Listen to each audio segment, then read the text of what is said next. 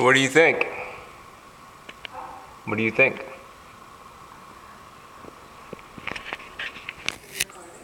Mm-hmm.